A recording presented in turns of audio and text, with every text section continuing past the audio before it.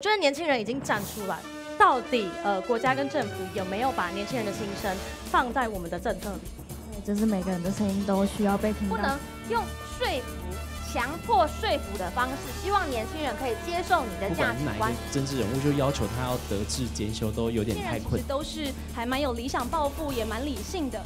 新闻之间为你发声，抢攻手头足，青年看选战，一月四号下午一点五十六频道新闻之间。